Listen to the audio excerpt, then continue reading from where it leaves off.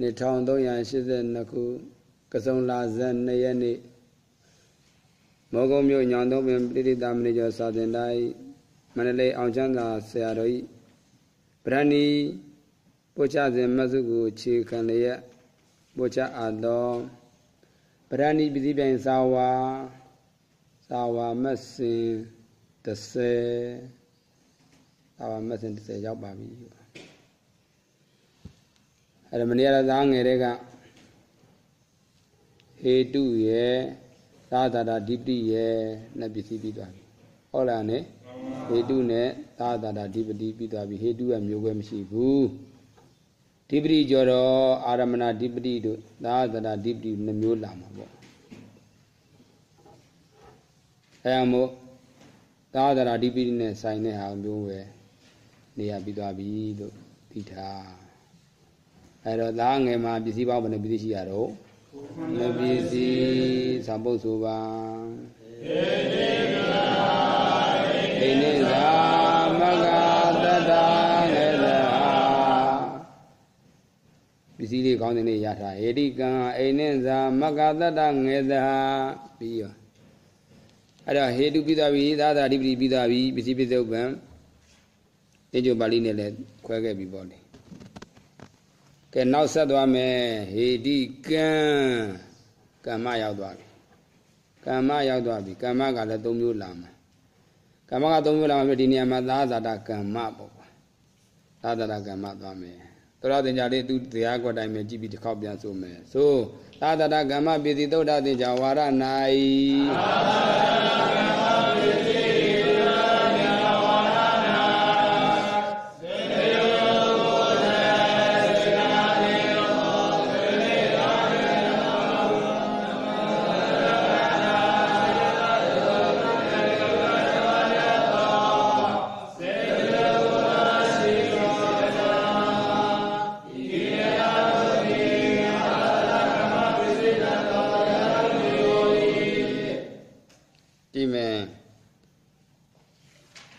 90စေနာကျင်သောစေတ50တပါးဥစုအသောတံပြုတ်တခန္ဓာ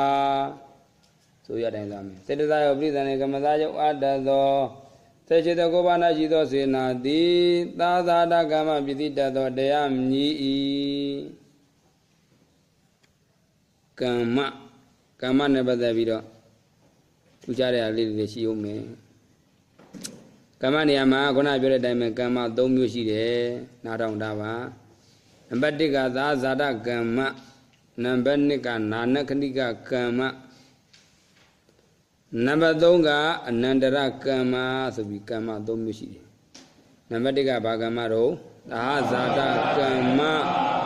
နံပါတ်2ကဘာနကိယကမ္မနံပါတ်3ကအနန္တရကမ္မပစ္စည်းတစ်ခုနဲ့တစ်ခုမတူတဲ့တတ္တိလေးတွေရှိတယ် ကမ္မဆိုတဲ့သဘောကတော့စေနာပါပဲဘုံလုံးကောက်လိုက်တဲ့ခါကျစေရနာကြီးရကောက်အောင်ပါပဲသာသတာကမ္မပဲလာလာနာနခဏိကကမ္မပဲလာလာအနန္တရကမ္မပဲလာလာစေရနာကြီးကောက်စေနာဆိုတဲ့သဘောတရားပရမတ္ထအလျော်ဆိုတာထိပြီးသွားပြီးချုပ်ပြောက်သွားမှာပဲဓာတ်တတိသဘောကြံနေတတ်တယ်ဓာတ်တတိသဘောကြံနေတတ်တယ် အဲ့တော့သာသရကမ္မဆိုတာဘယ်လိုအမျိုးတော့စေရနာနဲ့သူနဲ့တကွာဖြစ်ပဲနာမခန္ဓာရုပ်တွေတပြိုင်နဲ့ဖြစ်နေတယ်စေရနာရဲ့သူနဲ့ဖြစ်တဲ့တကွာဖြစ်ပဲနာမခန္ဓာရုပ်တွေတပြိုင်နဲ့ဖြစ်နေတယ်အတူတကွာဖြစ်နေတယ်စေရနာဖြစ်ပြီးနဲ့တပြိုင်နဲ့ချက်ချင်းဖြစ်နေတဲ့ကမ္မမျိုးဆိုရင်သာဇာတကမ္မလို့မှတ်ထားရမယ်နော် စေရနာကသူနဲ့အတူတကွဖြစ်တဲ့နာမခန္ဓာနဲ့ရုပ်တွေအဲ့ဒီစေရနာကဆိုတဲ့အကြောင်းတရားကဒီစေရနာဆိုတဲ့အကြောင်းတရားကသူနဲ့အတူတကွဖြစ်တဲ့နာမခန္ဓာနဲ့ရုပ်တွေအတူတကွဖြစ်ပြီးတော့ပစ္စည်းပစ္စုပန်တွေနဲ့ဖြစ်မယ်ဆိုရင်အဲ့ဒီကမ္မမျိုးကိုကြတော့ဘာကမ္မလို့ခေါ်မှာတော့သာသရကမ္မကာလမချောက်လို့မှတ်ထားလူရင်းရတော့ဘာမချောက်တဲ့အောင်လေကာလမချဘူးချက်ချင်းတပြိုင်နက်ဖြစ်မယ် နာနကရိယကမ္မကျတော့အဲ့လိုမဟုတ်ဘူးစေတနာလေးကရှေ့ကသူ့အကြောင်းသူ့ကြောင့်ဖြစ်လာတဲ့ဝိပဿနာမခန္ဓာကရတယုတ်တွေကနောက်ကအဲ့လိုရှေ့နောက်ဆိုတဲ့ကာလာချားတယ်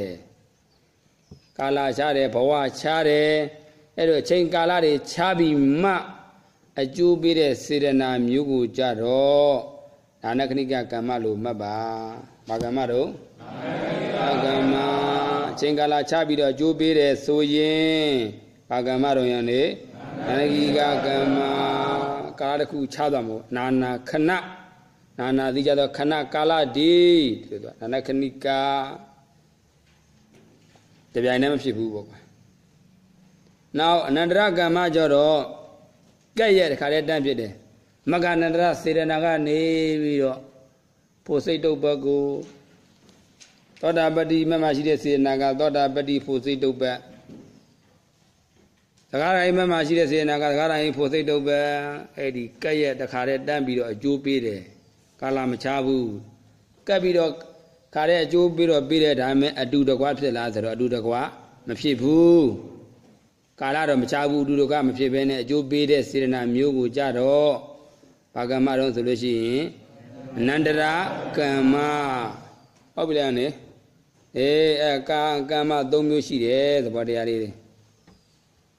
ဒီကမ္မနဲ့ပတ်သက်ပြီးဥမာတွေလည်းအများကြီးပေးတာရှိတယ်ပေါ့ထင်ရှားတဲ့ဥမာဟိုတောင်ပြင်ထီလင်းကိုတော့မရှိတယ်ပေါ့နော်ဥဝဇိရဗုဒ္ဓိတဲ့ပြောတာထင်ရှားတဲ့ဥမာနဲ့ပေးတယ်ငေဥသီးနဲ့ဥမာပေးတယ်တဲ့ငေဥသီးကိုပထမဆုံးစားစားခြင်းငေဥသီးကဆက်တယ်ပူတယ်စားစားခြင်းမစုပ်လက်ဆက်လိုက်အောင်နေဆက်တယ်ငိုသည်စားစားလိုက်ခြင်း ဆက်တယ်ပူတယ်လက်တွေလည်းပူတယ်အဲ့လိုစားစားခြင်းဆက်တဲ့သဘောတရားလေးပူတဲ့သဘောတရားလေးအဲ့ဒီသဘောတရားလေးဒီသာသာတာကမ္မနဲ့တူတယ်လို့မှတ်ပါ။ဘာနဲ့တူမရအောင်နေသာသာတာကမ္မနောက်အဲ့ဒီငုံစည်းစားပြီးတဲ့နောက်တဏှာယူသရကောတဏှာယူသရကောတရက်သရကောနေရက်သရကောပူတယ်နော်ကျင်ကြီးကျင်ငယ်တွေပူတယ်ဆက်တယ်အဲ့တော့အ ချိန်ကာလမချောက်လားချသလားချသွားတယ်အဲ့လိုချတဲ့စေနာမျိုးကိုကြတော့ဘာကံမာတော့ဆိုရင်နာနခဏိကကမ္မာလို့ဥမာပေးတယ်စာရဲပါလာတော့မဟုတ်ဘူးအဲ့ဒီအလိုဥမာပေးပြီးပြောတယ်အောင်ကျန်တာဘုန်းကြီးအဲ့မှာအဝါချိုင်းနဲ့ပြောတယ်ဗောနော်တောင်ပင်ထီးလင်းဥဝဇိရဗုဒ္ဓိဆရာတော်နေဥသီစတ္တာချင်းနဲ့ဥပမာပေးပါတယ်စားစားခြင်းဆက်တဲ့ ချိန်ကာလကိုဘာကမ္မလို့ခေါ်မှာတော့သာဇာတာကမ္မစပြီးတဲ့နောက်မှာကျင်ငယ်ကျင်ကြီးစွန်းတဲ့ခါတို့နော်နောက်ရက်ဒီမှာပူတဲ့ဆက်တဲ့သဘောမျိုးကိုကျတော့ဘာကမ္မလို့ခေါ်နာနကဏိကကမ္မတဲ့အဲ့လိုပြတယ်ဒီဟာဝိတိနဲ့သုံးချက်ဆိုတဲ့ကျတော့သူကတော့မျိုးစေ့နဲ့အပင်ကိုဥမာပေးထားတယ်မျိုးစေ့ဒီဆိုင်တဲ့လိုက်ရှင်တန်းပြီးတော့အဲဘာကိုမဖြစ်ဘူးပေါ့လေ တစ်ပင်ဆိုတော့ဓာတ်တတိသဘောကိုမဖြစ်ဘူးသူ့ရဲ့ရေတက်မြေတက်တွေရလာပြီးမှသာလေဖြစ်တယ်အဲ့လိုဖြစ်တဲ့သဘောမျိုးကိုနာနကိယကမ္မဆိုပြီးတော့မျိုးမျိုးဒါပေးထားတယ်ရှိတယ်ဒါတော့ဒါဥမာနေနဲ့သိအောင်ပြောတာအဲ့တော့သာသနာကမ္မသည်စေရနာယကသူနဲ့အတူတကွဖြစ်ဘက်နာမခန္ဓာနဲ့ရုပ်တည်တပြိုင်နက်တခဏတည်းကာလမချပဲနဲ့ဖြစ်မယ်ဆိုရင်အဲ့ကမ္မမျိုးကိုဘာကမ္မလို့မှတ်မှာတော့ သာသဒကမ္မဟုတ်ဒီလိုအဲ့သာသဒကမ္မကိုသွားမယ်သာသဒကမ္မသွားတော့အင်းညပါဠိနဲ့ပဲကြည်သင်္ညောပါဠိသင်္ကပ္ပယေသက္ခွန်ဒီဒီပိုင်းသင်္ကပ္ပယေသက္ခွန်တခါတည်းသင်္ညောပါဠိရောကိုယ့်အကူသုဒ္ဓတင်ညာကြက်တဲ့ခါတခါတည်းတခါတည်းတွဲပဲတွဲပြီးတော့ကြက်ပါ သင်္ကပ္ပယေသက္ခွန်မှာသာသတာစေတနာသာဇာဒနာနာမရူပနံအဲ့ဒါလေးပဲအောက်ကဆက်မယ်ဆိုရင်ကမ္မပစ္စေနကမ္မပစ္စယောဟောတိကမ္မဝသေနပစ္စယောဟောတိဒီသွားဆက်ပေါ့ကြည့်ရပါသိညိုပါလိသာဇာတာစေတနာပစ္စည်းကတာပေါ့ကွာသာဇာတနာနာမရူပနံပစ္စည်းဥပ္ပံတံပရံပေါ့ကွာ ကမ္မဝသေနသာသတပစ္စယောဟောတိဒီလိုဆက်လိုက်တော့အဲ့ဒါသာသတစေတနာဆိုတဲ့မဲ့ဒီလိုကဖြစ်တဲ့စေတနာဘယ်ထဲမှာရှင်တဲ့စေတနာတုံးလို့မေးစရာရှိတဲ့တကြောင်စေနာတဲ့ရှင်တဲ့စိတ်ပေါင်းကစိတ်ရှိတဲ့ကိုယ်ပါလုံးရှင်တာမလားနေအေးသူ့ရဲ့ရှင်ရစိတ်အားလုံးယူလိုက်ပဲဒါရှိတာပဲအမစိတ်ရှိတဲ့ကိုယ်ပါနဲ့ရှိတော့စေတနာလေးအဲ့ဒီစေတနာလေးသေးကတပမနေတဲ့တဲ့ကြောင့်ဗာတရားဖြစ်ပစ္စည်းတရားဒီဒါပါပဲအ သာသရဏနာမရူပနံအဲ့ဒီစေတနာနဲ့ရှင်ဘောရှင်ဘက်တံပြုတ်တဲ့ခန္ဓာနာမယစေနာကျင်လိုက်ပေါ့ကွာစေနာကပစ္စည်းတရားပမနေတဲ့ကြောင့်စေနာကိုကျင်လိုက်189ပါစေနာကျင်သောစတိ50တပေါက်သို့သောတံပြုတ်တဲ့ခန္ဓာအဲ့ဒါနန္တရားအနေနဲ့ကျုပ်တရားအနေနဲ့သူနဲ့တူတူကဖြစ်တဲ့စေတသာယုတ်ပြည်စံတွေကမဇယုတ်အဲ့ဒီတရားတွေကတံပဒံပစ္စယုပ္ပံတရား ဘာတရားတော့ရောလေတံပဒံပစ္စယုပ္ပံတရားပြီးပြီသိညို့ပါလေဒါလေးပဲရှိတာရှင်းတယ်မလားလေလွယ်နေချုပ်မလိုက်စေနာတိပစ္စည်းစေရနဲ့ရှင်ဘတ်တံပုဒ္ဒခန္ဓာနဲ့စေတသာယုတ်ပြည်စံတွေကမဇယုတ်တို့သည်ပစ္စယုပ္ပံပြီးပြီစေရနာကစိတ်ရှိတဲ့ကိုယ်ပါလုံးရှင်လို့ဘာမှထူတွေ့ပြောတရားမလို့တော့ဘူးအဲကိုခောက်ထားတဲ့တရားဒီစေနာပါတယ်ဆိုရင်အဲ့စေနာလေးဒီပစ္စည်းတရားလို့မှတ်စေနာမှကြံတဲ့အတန်ပုဒ္ဒခန္ဓာနဲ့ စေတသာယုတ်ပြိတ္တနေကမသာယုတ်ဒီကပစ္စုပန်တရားလို့မှတ်ဒါပဲရှိတာပါပဲအဲ့ဒါသူတရားတိုင်းပဲပစ္စည်းပစ္စုပန်ရင်ခွဲဆိုမယ်ဝိုင်းဘုကအတိုင်းပဲခွဲဆိုမယ်သို့စေရှိတဲ့ကိုဘာနာရှိသောစေနာသည်သာသာရကမ္မပစ္စည်းတရားစေတကို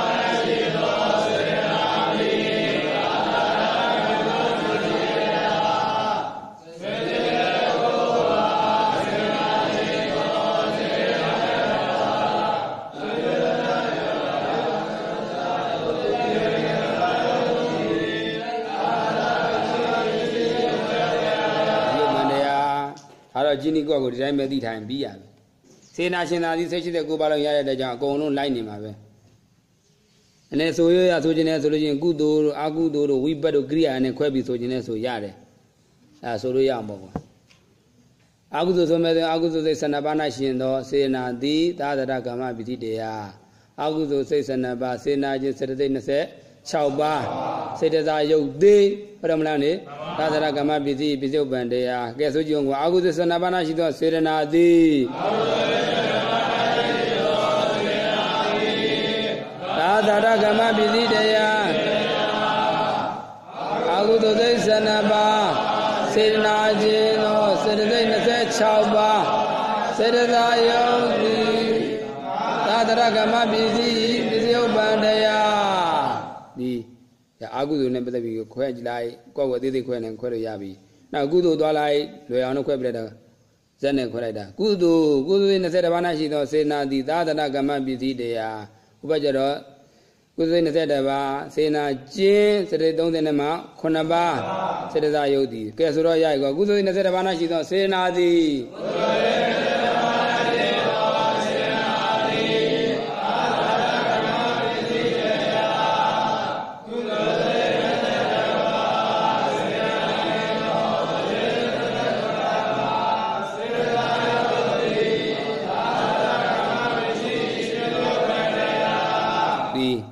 အကုသိုလ်ပြီးသွားပြီဗျာကတတွေတဲ့ကဝိဘတ်ကိုသွားလိုက်မယ်ဝိဘတ်ကိုကျတော့နည်းနည်းခွဲဆိုလိုက်အဟိတ်တွေကကျတော့ရှင်နာချင်းမတူဘူးအဟိတ်ထဲမှာဝိဘတ်ကရိယာက၃မျိုးပဲရှိတာကရိယာ၃ပါးပဲရှိတယ်ကျန်တဲ့ဟာတွေကဝိဘတ်တွေပဲရှိတာဟုတ်တယ်မလားနေအာယဝိဘတ်15ပါးဒါပဲရှိတော့မယ်အာယဝိဘတ်15ပါးရှိစေနာသေးသာသရကမ္မပစ္စည်းတရားစေရနာအာယုပတိ15ပါးမရှိနိုင်တဲ့ဟာတွေနှုတ်လိုက်စေရနာသန္တာပိတိဝိရိယချင်းအဲ့တော့အညာသမစရစိတ် 10ပါးစေတသာပရိသနေကမသာယုတ်တိအာသရကမပစ္စည်းဇယုတ်ပန္တရားဆိုကွာအာဟိဝိဘတ်15ပါး၌ရှိသောစေတနာတိအာဟိဝိဘတ်15ပါး၌ရှိသောစေတနာတိအာသရကမပစ္စည်းတရားအာဟိဝိဘတ်15ပါးစေတနာစန္ဒာဝိရိဝိရိယခြင်းသော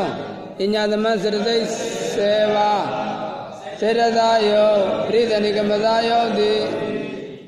သာသာတကမ္မပစ္စည်းပစ္စယုပ္ပန္နယနောက်ဝါသွားမယ်ရူပဝိပက်သွားမယ်မဟာဝိပက်သွားမယ်ဆိုကွာမဟာဝိပက်ရှိပါနာရှိသောစေတနာသာသာတကမ္မပစ္စည်းတရား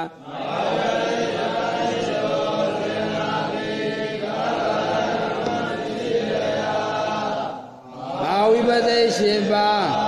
စေနာခြင်းစေတသိက်32ပါး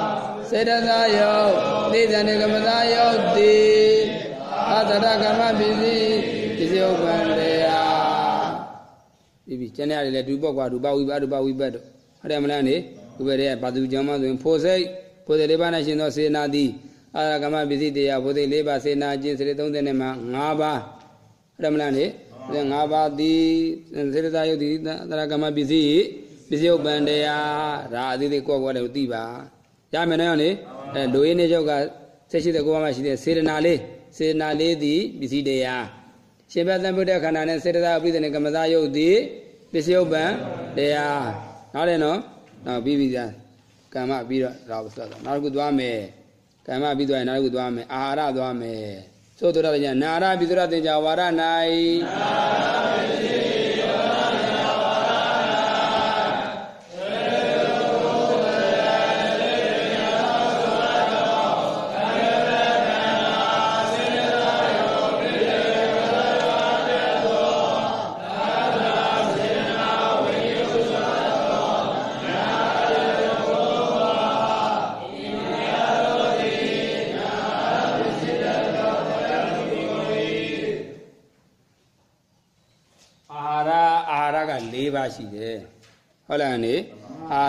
ရ၄ပါးရှိတယ်အာရ၄ပါး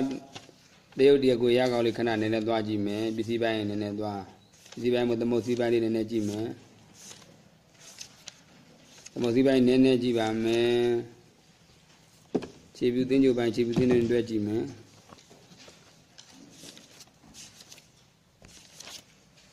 တွေ့တော့ပြောတာအာရ၄ပါးကပလီကတော့အာရောသတ္တောဒုတိယမနောသင်္စေတနာတတိယဝိညာဏံသတုထံ တိညုပါဠိ121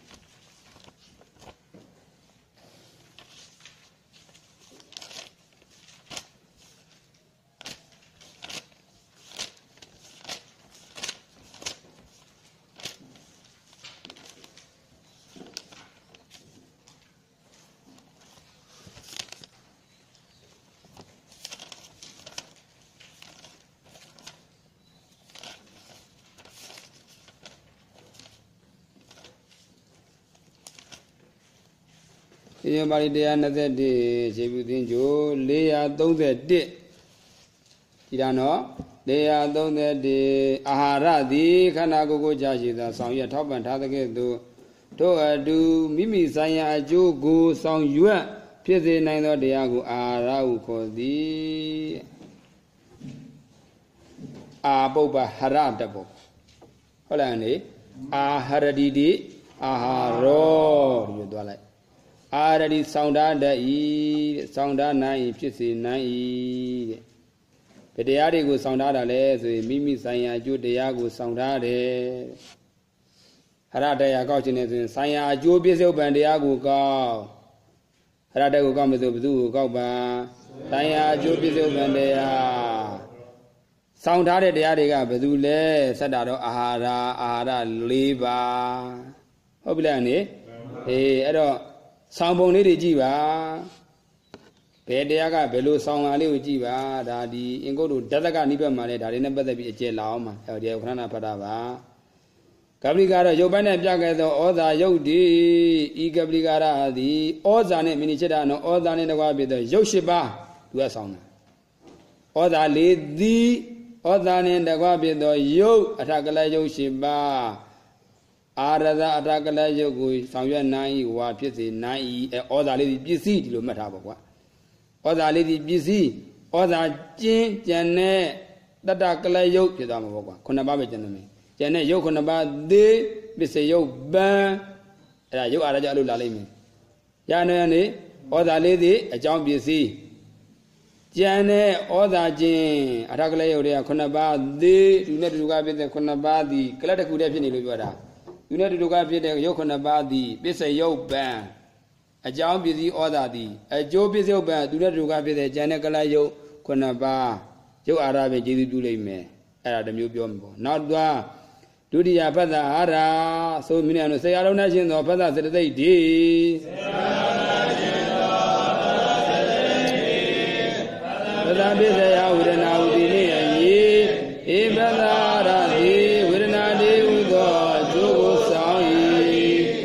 ပလီကာရရကပရမဖြစ်၍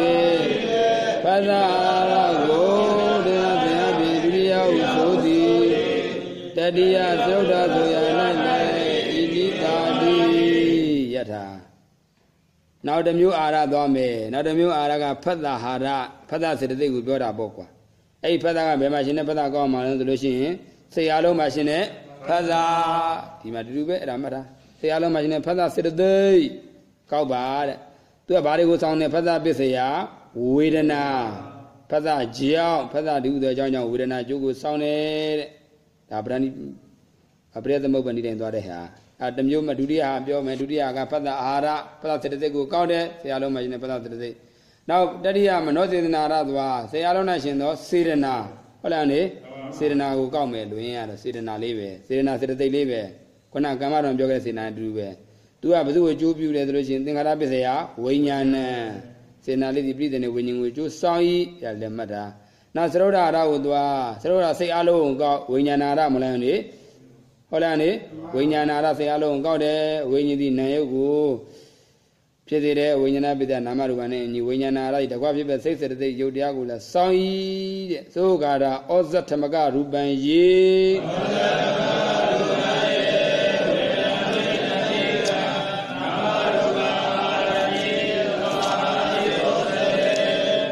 ပံရပြီအာရလေးပါးသေုတ်တရားကိုရကောက်ရပြီဒီညမှာအဲ့ဒီအာရလေးပါးတဲ့ကရုပ်အာရကိုနှုတ်လိုက်နာရတေကိုဘယ်နှပါးကျင်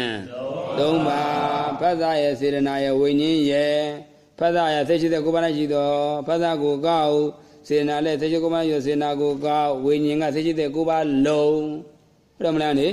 အဲ့ဒီတရားကိုသုံးပါအဲ့ဒီဉာဏ်တရားကိုသုံးပါသည်နံအာရပစ္စည်းတရားဒီလိုသွားလိုက်တော့ဟုတ်နော် အဲ့တော့ပစ္စုပန်တရားဘက်ကိုသွားကြမယ်ပစ္စုပန်တရားဘက်ကိုသွားလိုက်တော့ကျတော့ပစ္စည်းပန်ပါဠိနဲ့သွားလိုက်တော့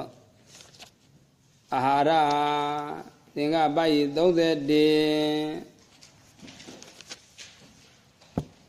သင်္ကပယိ31နာအာရနဲ့ဆိုင်တာပဲသွားပေါ့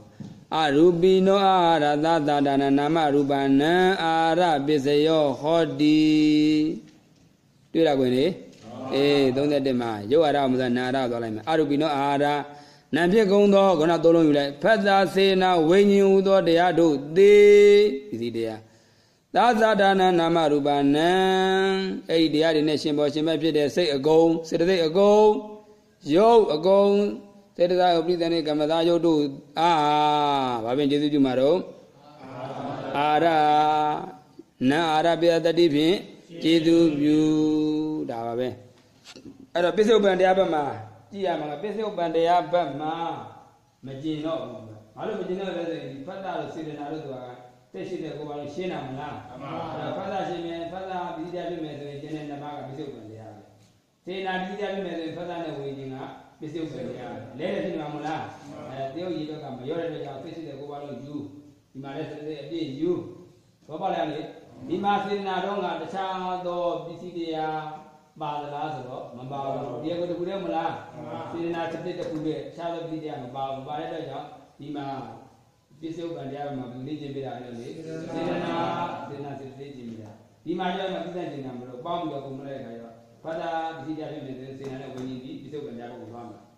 စေနာပစ္စည်းတရားဖြစ်နေဆိုရင်ဘာသာနဲ့ဝိညာဉ်ဒီပစ္စုပန်တရားကိုအဲ့လိုချင်းချင်းပြန်လာကောင်းမှဖြစ်တဲ့ကြောင့်မကျင်တော့ဘယ်နဲ့ပေါင်းပြီးဆိုလိုက်တယ်သိရှိတဲ့ကိုယ်ကသိပညာလောက်ဆိုသံတုတဲ့ခန္ဓာ စေတသာပိသနေကမ္မသာယဝတတ်သောနာရတရားကိုသုံးပါသည်နာရပစ္စည်းတသောတရားတို့ညီကုံဤဒါရောမလိုက်အောင်နေပြီးပြီအဲ့ဒါပဲသူရဲ့ဈေးပိုင်းမှာပြတဲ့အသင်္ကြိုပါဠိနဲ့ကောရကောင်းနဲ့ကောဒူးမရှိဘူးကဲသူ့အသေးခွဲတိုင်းဆိုလိုက်တော့ကွာဖတ်တာစေရနာဝိညာဉ်ဆိုသောနာရတရားကိုသုံးပါသည်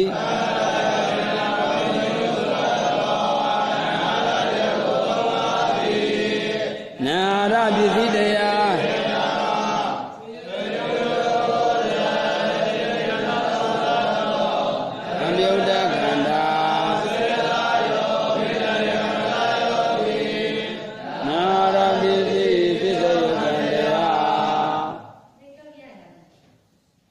အဲ့မှာချခဲ့လိုက်ပါလားစာမပြီးသေးဘူး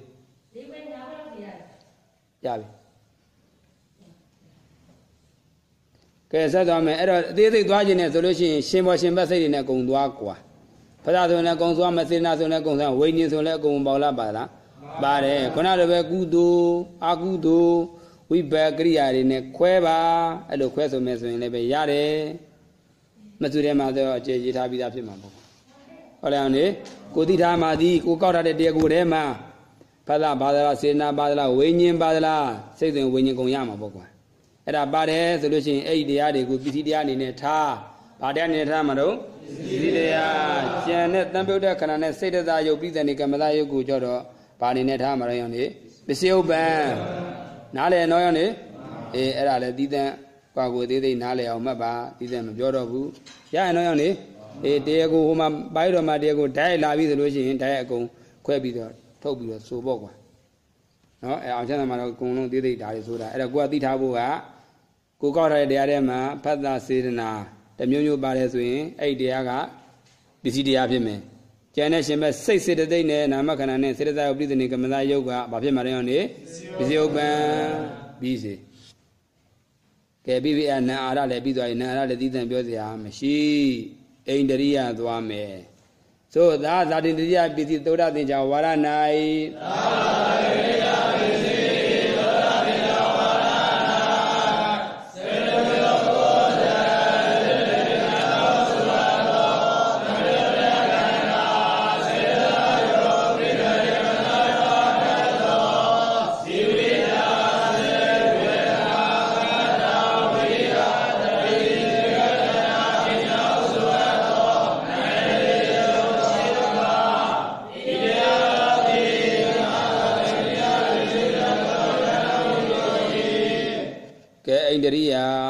သာဇာတိန္ဒရိယ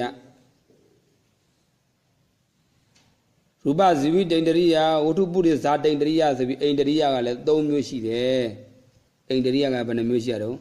၃မျိုးသာတိန်ပုတိန်ရူတိန်သာတိန်ဆိုတာသာဇာတိန္ဒရိယပုတိန်ဝတ္ထုပုရိဇာတိန္ဒရိယရူတိန်ရူပဇီဝိတိန္ဒရိယဆိုပြီးတော့အဲအိန္ဒရိယကတော့ဆိုရခြင်းပါပဲ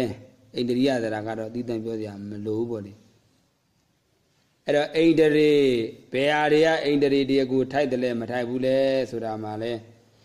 သမုတ်စည်းပိုင်းမှာကျေပြထားတာပါတယ်ပေါ့အဲ့တခုကြီးလေးသွားလိုက်ပစ္စည်းတရားဘက်ကိုယင်သွားမယ်ကြည့်ထားပစ္စည်းတရားဘက်မှာဇီဝိတာစေဝေဒနာတတ္တဝိရိယတတိဧကဂရပညာလို့ခေါ်တဲ့နိုင်နေတဲ့ကိုဘယ်နှပါးလဲအောင်နေ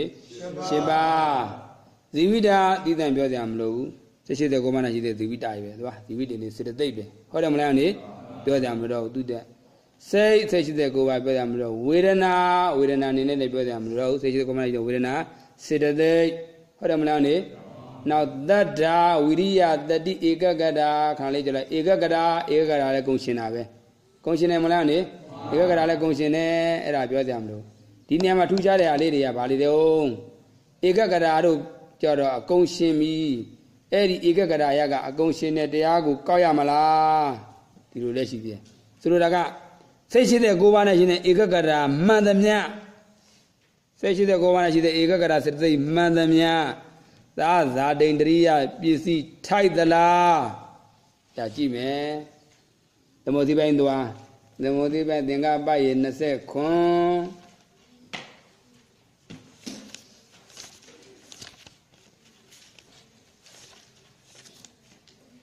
သမုဒိပန်သင်္ကပယေ20ခွန်ကြည်တရဝိသိကိစ္စစိတ်တေဧကဂရမဂိန္ဒရိယဗရဘဝနာကိစတိတဖြက်တွေ့နေရနေ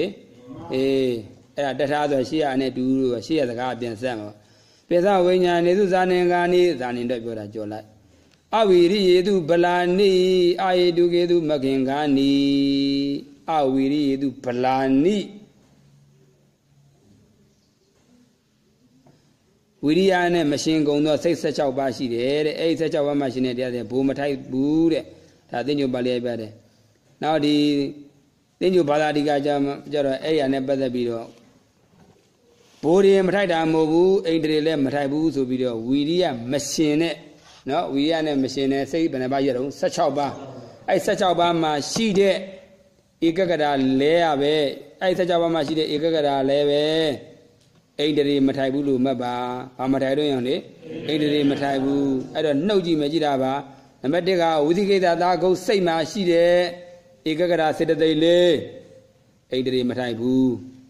နောက်ဝိရိယနဲ့မရှင်တဲ့စိတ်16ပါးမှာရှိတဲ့ဧကဂရလေးဘာမထိုက်ဘူးတဲ့အောင်လေဣန္ဒြေမထိုက်ဘူးအဲ့ဒီတရားတွေမှာရှင်တဲ့ဧကဂရလေးသည်အိသာဇာတိန်တရိယာပစ္စည်းမထိုက်ပါလို့မှတ်ထားပါ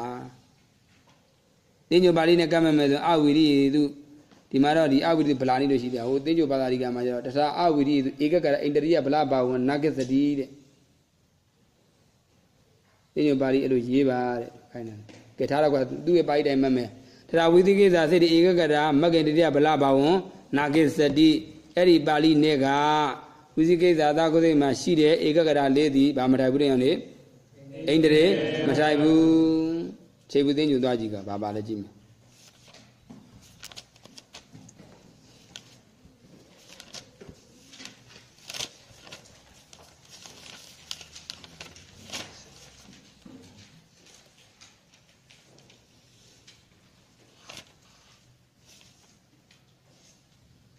ခြေဘူးသိညူသာမဏ434ဝိကသာကုသခြင်းတဲ့ကကရာတိမကင်အမိလည်းမရအိန္ဒြေဘုံမိလည်းမရတိုင်းအမအဲ့ဒါလေးဆိုရမယ်ကဲဆိုကဤသိညိုပါလိရှိသည့်အတိုင်း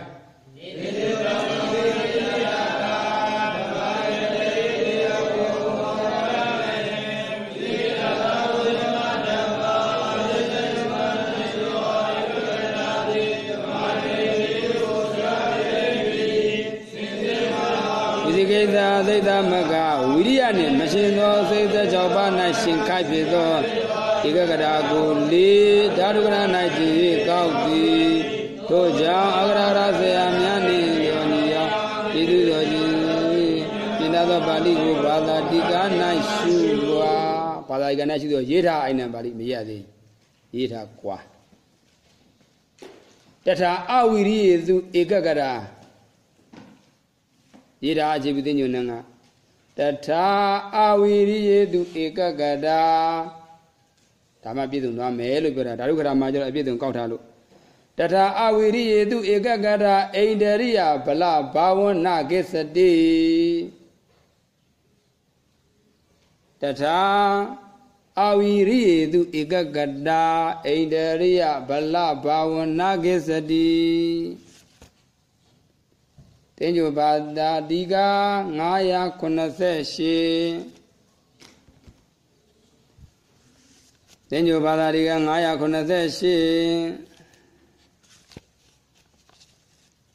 ကျန်သူကြမယ်တထာအဝိရိယေတုဧကကတာဣန္ဒရိယဗလဘာဝနာကိဇတိဒါသူပြည့်စုံသွားပြီဝိရိယနဲ့မရှိတဲ့စိတ်ဆက်ကြောင်းပါမှရှိတဲ့ဧကကတာလဲဧကကတာလဲပဲ ဣတရေရဲ့ပိုဖြစ်သူလည်းမထိုက်ဘူးလို့သိပါသို့မဲ့ပါတထာအဝိရိယတုတထာအဝိရိယတုအကိစ္စတိအဲ့တော့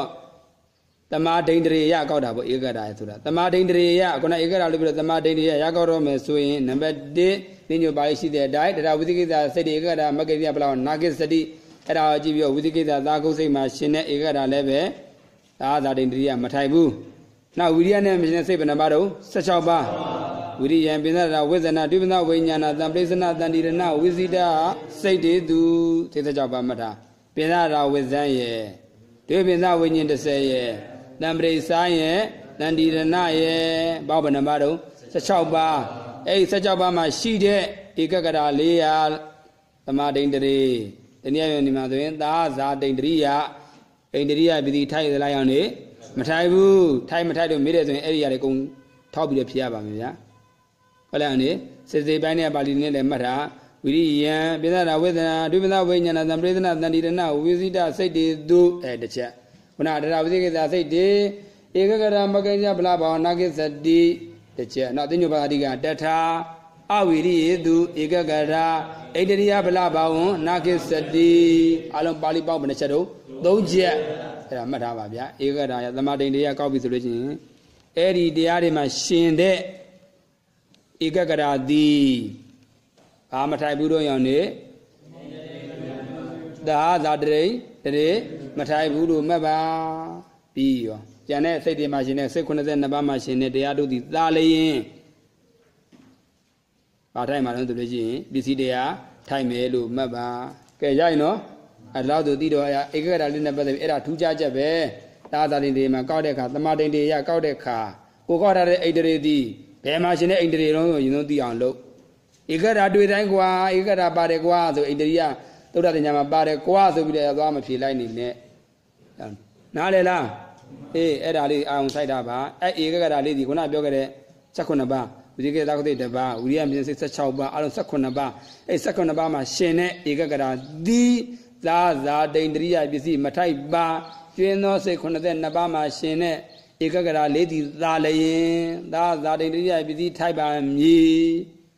ရိုက်နေရနေပြီးအာတတ္ထာတို့ဝိရိယတို့တော့သိပြောကြမလို့တော့ဘုဒ္ဓတာဝိတ္တတတိ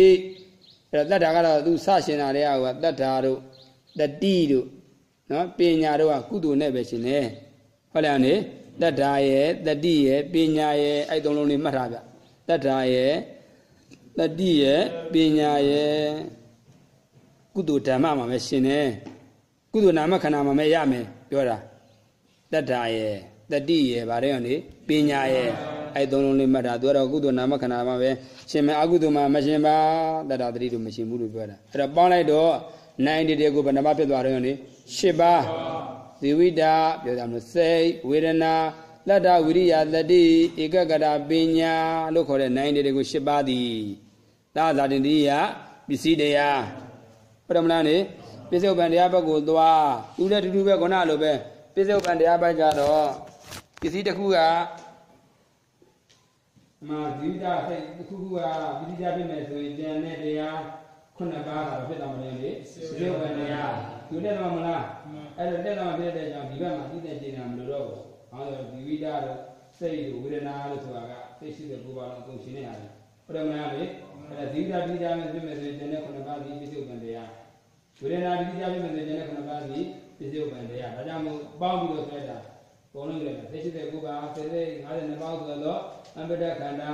စေတသာပစ္စည်းကမ္မသာယုတ်တို့သည်သာသရိယပစ္စည်းပစ္စယုပ္ပန္တရားနားလည်လားဒီဒီပါဠိ ကပြီးတော့ကဲဆိုတော့ရပြီဒီဝိတာစိတ်ဝေဒနာဒီဝိတာစိတ်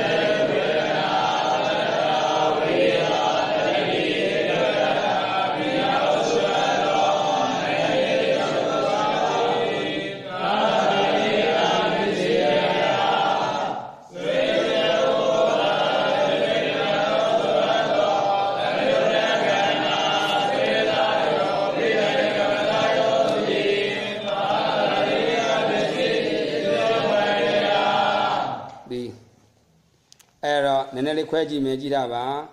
ခုနသုံးလုံးလေးမှတ်ထားလက်ဓာရဲ့တတိရဲ့ပညာရဲ့အဲ့ဒါလေးကကုသိုလ်အိန္ဒြေတွေပဲရမယ်လို့မှတ်ထား။ဘာရမှာတော့နေကုသိုလ်အိန္ဒြေအဲ့တော့ကုသိုလ်စိတ်22ပါးမှာဆိုလို့ရှိရင်အိန္ဒြေနာအိန္ဒြေ10ပါးလုံးရမယ်လို့မှတ်ထား။ကုသိုလ်စိတ်22ပါးမှာဆိုရင်နာအိန္ဒြေ10ပါးတို့ထားကြအောင်နေသုံးမျိုးရေးမယ်ကြားတယ်ပြောနေမေ့မယ်။နည်းနည်းအသင်္ကေတလေးနဲ့တို့ထား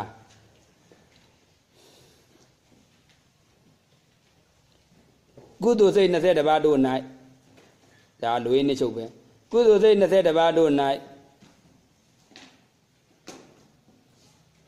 ကုသိုလ်စိတ်22ပါးတို့၌နာအိန္ဒိတေကို7ပါးရ၏နာအိန္ဒိတေကို7ပါးလုံးရ၏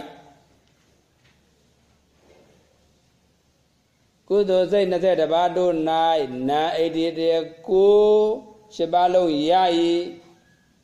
ဒါရရင်ကျေဆိုကြမလို့တော့ဘူး ကုသိုလ်စိတ်20ပါးတို့၌နာအိန္ဒိတေကို၈ပါးလုံးရ၏အကုန်လုံးရမယ်ဇီဝိတာစိတ်ဝေဒနာတတ္တာဝရိယတတိဧကဂရပညာအကုန်လုံးရတယ်လို့ပြောတာတပိနှစ်သွားအကုသိုလ်စိတ်12ပါး၌အကုသိုလ်စိတ်12ပါး၌ဇီဝိတာစိတ်ဝေဒနာဝိရိယဧကဂရခုနကုသိုလ်နဲ့ရှင်နာနှုတ်လိုက်တာပဲဇီဝိတာ စိတ်ဝေဒနာဝိရိယဧကကတာအကုသိုလ်စိတ်ဇဏပါ၌သီဝိဒစိတ်ဝေဒနာဝိရိယဧကကတာဟုသောနာအိန္ဒိတေကို၅ပါးရ၏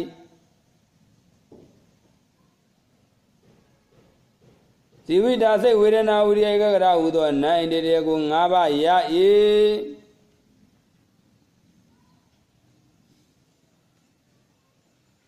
အဲအာကုသိုလ်မှာဆိုရင်ကုသိုလ်မှာရှင်တဲ့အိန္ဒြေဘယ်နှလုံးနှုတ်လိုက်မှာတော့သုံးလုံးခုနသုံးလုံးမခိုင်းတာမလားတတ္တာရဲ့တတိရဲ့ပညာရဲ့အဲ့ဒါသဘောပေါက်လားအေးအဲ့ဒါသူကကုသိုလ်မှာပဲရှင်မှာမို့အဲ့သုံးလုံးနှုတ်ထားအာကုသိုလ်မှာဆိုရင်နိုင်တယ်ဘယ်နှပါးရမှာတော့၅ပါးပြီးပြီစိတ်ရှင်တရစိတ်ရှင်သိရင်သိပြီးသားတွေပါနောက်သွားမယ်ဝိပကရိယာဝိပကရိယာစိတ်တို့၌ပေါင်းလိုက်ပြီဝိပတိ36ပါးကရိယာစိတ်20ပေါ့ကွာဝိပကရိယာစိတ်တို့၌ ဝိပကရိယာစိတ်တို့၌နံအိန္ဒိတရကို7ပါးလုံးရ၏ဝိပကရိယာစိတ်တို့၌နံအိန္ဒိတရကို7ပါးလုံးရ၏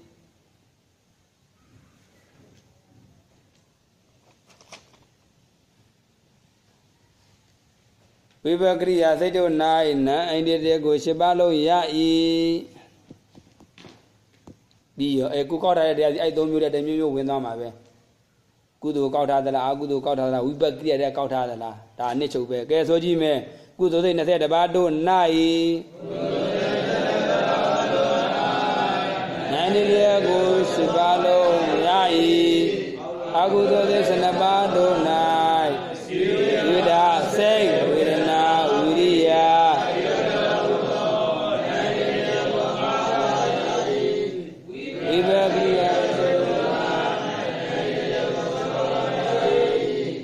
မယ်နော်အဲဆိုရင်သေးစိတ်ကတွေဆိုကြမတော့ဘူးအဲ့တော့ကုသိုလ်ကောက်ထားဆိုရင်ကုသိုလ်တွေကနိုင်နေတဲ့ကို၈ပါးသည်သာသာတွေရိယပစ္စည်းတရားရှင်မစိတ်တွေကုံသွားကုသိုလ်စိတ်20ပါးမကျင်တော့နဲ့သူအကုန်လုံးပေါင်းဆုံးမှာဆိုတော့စေတသိက်38ပါးစိတ်တသာယုတ်သည်သာသာတွေရိယပစ္စည်းပစ္စယုတ်ပံတရားမကျင်တော့သဘောပေါက်လားနော်အဲ့ဒါခုနေတခုရှင်မှာမို့ကဲဆိုမဲ့ရသုံးမဲ့ ကုသိုလ်20ပါး၌ရှိတော့နိုင်နေတဲ့ကို၈ပါးသည်နိုင်နေတဲ့ကို၈ပါးသည်သာသာတေရိယာပစ္စည်းတရားကုသိုလ်စိတ်20ပါးကုသိုလ်စိတ်20ပါးစေတသိက်38ပါးစိတ်တသာယုတ်သည်သာသာတေရိယာပစ္စည်းပစ္စယုတ်ဗံတရားဆက်မယ်အကုသိုလ်တွေအကုသိုလ်စိတ်12ပါး၌ရှင်တော့ နိုင်လေးတည်းကိုဆိုရဆိုရပါဇိဝိတာစိတ်ဇိဝိတာစိတ်ဝေဒနာဝိရိယဧကဂရဟုဆိုသော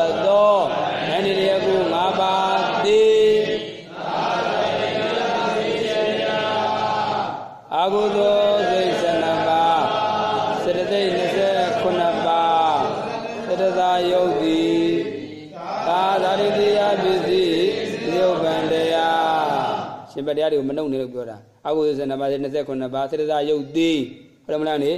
နောက်တစ်ခုသွားမယ်ဆိုကဝိပဿစိတ်ကရိယာစိတ်တို့၌ရှင်သောနိုင်နေတဲ့ကို၈ပါးသည်ဝိပဿစိတ်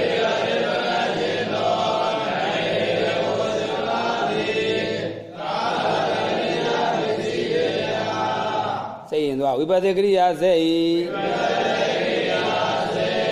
စိတ်38ပါး စေတသာယောသီသလေကမသာယောတိအာသာရိတိယပိတိပိတုပမေယအဲ့သုံးချက်ပဲခွဲမယ်သုံးချက်ပဲခွဲမယ်ပြန်ဆိုမယ်စားနေသို့ကုသိုလ်20ပါးနဲ့ရှင်တော့နိုင်နေတဲ့ကို10ပါးသည်ကုသိုလ်စိတ်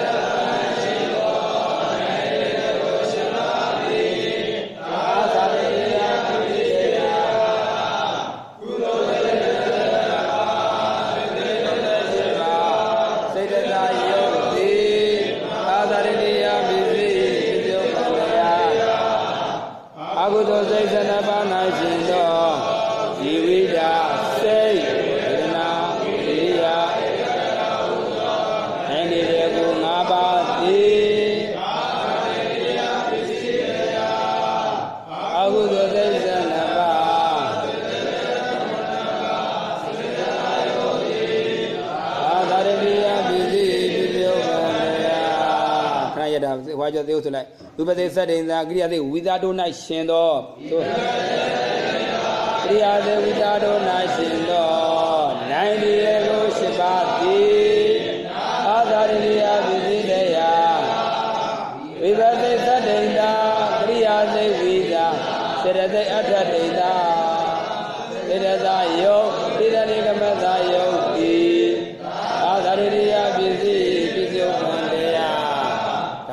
နှစ်ချုပ်ပဲရမယ်နော်လေအဲ့တော့ကိုကောက်ရတဲ့ဒီကုသိုလ်အိန္ဒြေလားအကုသိုလ်အိန္ဒြေလားဝိပကရိယအိန္ဒြေလားဒါပဲရှာအောင်ပဲအဲ့ဒီကခုနကပြောပြီးကုသိုလ်အိန္ဒြေဆိုရင်နိုင်နေတယ်ကိုဘယ်နှပါးရ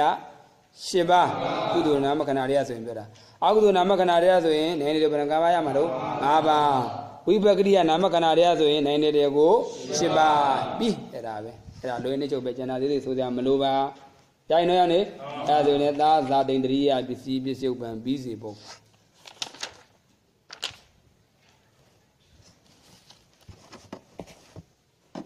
ဟာလေလားကဲအဲ့ဒါဆိုရင်ပြီးသွားပြီပြီးသွားတဲ့သားငယ်လေးနေနဲ့ပြန်နှိချုပ်မယ်ပြန်နှင်းချုပ်မယ်မနေ့ကဟေတုပြန်သွားမယ်အာယုံဆိုင်တာပစ္စည်းတရားပလေးကိုအာယုံဆိုင်တာပါအဲတူဟာတူဟာလေးတွေကိုသေယုတ်တူဟာတူဟာလေးတွေကိုမမိအောင်နော်ဟေတုပစ္စည်းမှာဟဲ့6ပါးရှိတယ်လောဘဒေါသမောဟလောဘတွေဒေါသတွေမောဟတွေပစ္စည်းတရားလာမယ်ဆိုလို့ရှိရင်သားငယ်တဲ့ကဟေတုပစ္စည်းလေးရမယ်လို့မှတ်ထား ဘာပစ္စည်းလေးရမယ်လို့ဟေတုပစ္စည်းတစ်ခုပဲရှိတာသူကတော့မရှိဘူးကျန်တဲ့မူခွဲဟောမရှိဘူးလောဘဒေါသမောဟပစ္စည်းတရားနေပြီးတော့ပစ္စည်းတရားနေပြီးတော့သာသာတာမျိုးပြန်ခဲ့မယ်ဆိုရင်သာငယ်တဲ့ကဟိတုပစ္စည်းတွေမှတ်ထားပါနောက်အာလောဘအာဒေါသလူတွေအာလောဘအာဒေါသပစ္စည်းတရားနေခဲ့မယ်ဆိုရင်သာငယ်တဲ့ကဟိတုပစ္စည်းတစ်ခုနောက်အာမောကလေးသိချာမှတ်ထားအာမောကလေးပညာမလိုက်အောင်လေအေးပညာလေးသိချာမှတ်ထားပါ ပညာပါပြီဆိုရင်ဟိတုပစ္စည်းတစ်ခုရပြီမှတ်ထားခုနောက်အဓိပတိလေးသွားအဓိပတိလေးမှာပညာမပေါလိုက်အောင်လေပါတယ်စဉ်းစားရမှာကပညာပါတိုင်းအကုန်ရသလားဒီလိုစဉ်းစားရမှာဗျအဓိပတိလေးရောယူဆက်ရမှာဗျပညာရှင်ကဘယ်နှပါးလဲရောနေ40နဲ့မှခုနှစ်ပါးမလားအေးပညာရှင်က48ပါးကဟေတုအကုန်ရမှာမှန်းတယ်အဓိပတိကျော်မရတော့ဘူးအဓိပတိကျော်တော့ ဒွေဇောတိဇောထိုက်တဲ့တရားတွေဒီတာလည်းရင်အဓိပိရမှာလည်းပြောတာမလားအေးအဲ့ဒါလေးမင်းတို့မှတ်တာပညာပိုင်းဆိုဟေတိဆိုတင်းခွာရေးမနေနဲ့ဗျအဲ့တော့ပညာလေးကအောင်ဆိုင်တာပါအဲ့ဒီပညာလေးဒီတိရိစိတ်34ပါးမှာရှင်တဲ့ပညာဖြစ်ခဲ့မယ်ဆိုရင်ဒါလေးမှတ်တာတိရိစိတ်34ပါးမှာရှိတဲ့ပညာဖြစ်ခဲ့မယ်ဆိုရင်ဟေတုနဲ့ဒေပတိဒီလေးမှတ်တာ အဲ့ဒါတော့တိရိစိတ်34ပါးမှာရှိတဲ့ပညာဖြစ်ခဲ့မယ်ဆိုရင်ဟေတုနဲ့ဒေပတိအခြားသောပညာဖြစ်ခဲ့မယ်ဆိုရင်ကုတော်တော်စေတော့ဟေတုလေးလို့မှတ်ထားဟုတ်တယ်မလားနေအေးအပြီးသွားပြီအခုတော့အဲ့ဒီပတိမှာဘာကျန်လို့ဆိုလို့ရှိရင်စန္ဒစန္ဒစိတ်တစ်ခုတည်းကွဲမရှိဘူးပြီးတော့စန္ဒပြီးသွားပြီနောက်ပြီးတော့ဘယ်လိုရနေဝိရိယဒါပြီးကြည့်ဝိရိယဝိရိယဝိရိယကုံယူအာမမတူဝိရိယကုံယူအဲ့ဒါလေးဒီဒီပတိတိုင်းပဲဝိရိယကုံယူကဟုတ်ပါဘူးခေါင်းနာပါတယ် အဲဒုရိစိတ်တိရိသောမှာရှင်တဲ့ဝိရိယစေတသိက်လေးဟုတ်တယ်မလားနေဒုရိသောတိရိသောမှာရှင်တဲ့ဝိရိယစေတသိက်လေးသည်သာသရာဒီပတိထိုက်မယ်အခုဒီအိန္ဒရိယမှာဝိရိယမပေါလားပါလဲအောင်လေပါတယ်ပါမလားနေအေးအဲ့ဝိရိယကကျတော့ဆက်ရှိတဲ့ကိုယ်ကမှရှင်းနေပါလေလို့ဝိရိယသူတို့ကမတူအဲ့ဒါလေးမှတ်ထားဟမ်ဟုတ်လားနေအေးအဲ့ဝိရိယပါလိုက်ပြီဆိုလို့ရှိရင် သာသာဓာဓိပတိရဲ့သာဇာတိန္ဒရိယရဲ့ဒီကြလေးမှတ်တာဝိရိယပါလိုက်ဆိုရင်ဝိရိယဆိုလို့ရှိရင်သာသာဓာဓိပတိနဲ့သာဇာတိန္ဒရိယထူတာကသာသရာဓိပတိဆိုလို့ရှိရင်ဝိရိယရှင်တဲ့စိတ်တိုင်းအကုန်ကောက်လို့မရဘူးဒွေသောတိသော34ပါးမှာရှင်တဲ့ဗာလေးကိုပဲကောက်ပါဝိရိယကိုပဲကောက်ပါပြီးစန္ဒဝိရိယစိတ်ဓာကဲစိတ်လာပြီ စိတ်အကုန်လုံးယူလို့မရဘူးဒီပတိမှာဆိုလို့ရှိရင်တိသော78ပါး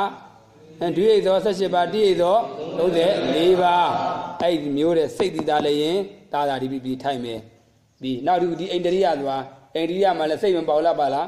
ပါတယ်အဲ့ဒါအိန္ဒိယအကုန်ယူကြိုင်နော်နောက်စိတ်နဲ့ပတ်သက်ပြီးတော့ဘယ်သူကြံနေအောင်နေနာအာဟာရထဲမှာမပေါလဲအောင်နေဖတ်တာစေတနာဝိညာဉ် ဝိညာဉ်လည်းပါမလားအဲ့တော့ဒီမှာဝိညာဉ်လေးပါတယ်ဖတ်တာစေတနာဝိညာဉ်စိတ်အလုံးပုံဆိုင်သွားပြီအဲ့တော့စိတ်ကိုကောက်ထားပြီဆိုလို့ရှိရင်စိတ်အကုန်လုံးကောက်ထားပြီဆိုလို့ရှိရင်အဓိပတိလေးလည်းရမယ်ခုနပြီးတော့တိသောမှာရှင်တဲ့စိတ်ဖြစ်တဲ့ဆိုရင်အဓိပတိလည်းရသာသာအဓိပတိလည်းရမယ်နောက်နံအာတာလည်းရမယ်နောက်သာသာလည်းနိရိယလည်းမြောင်းရမလားလေရမယ်စိတ်ဓာတ်လေးဟုတ်တယ်မလားလေစိတ်ကိုပတိထားပြီးတော့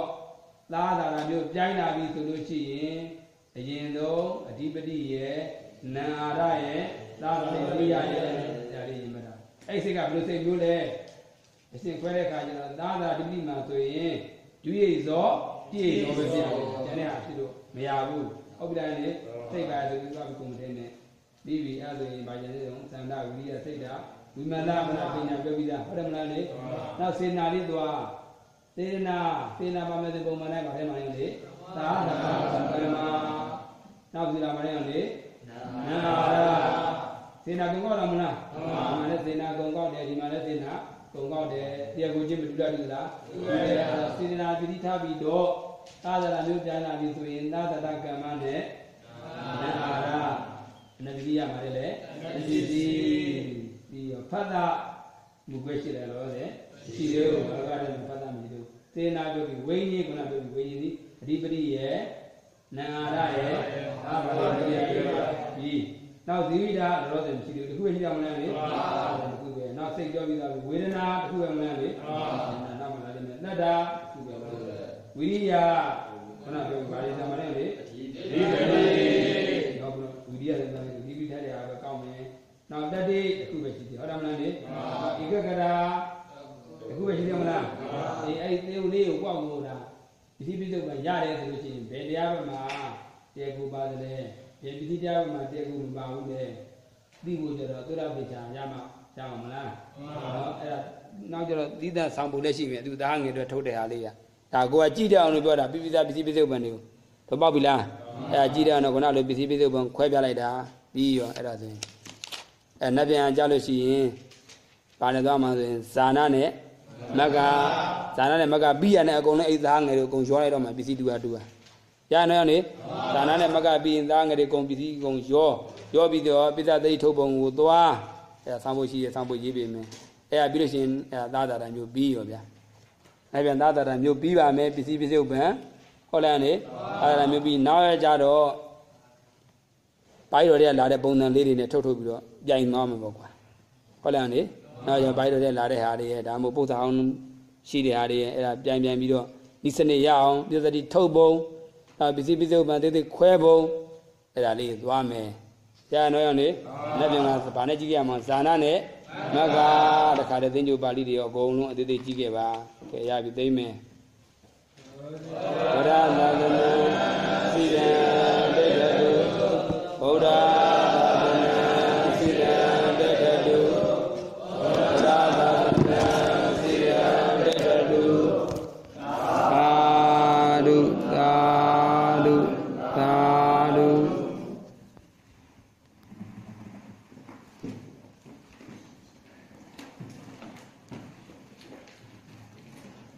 ဒါပြန်အင်းညမင်းညနဲ့တန်ပြုတ်တာနော်ရောင်နေအာ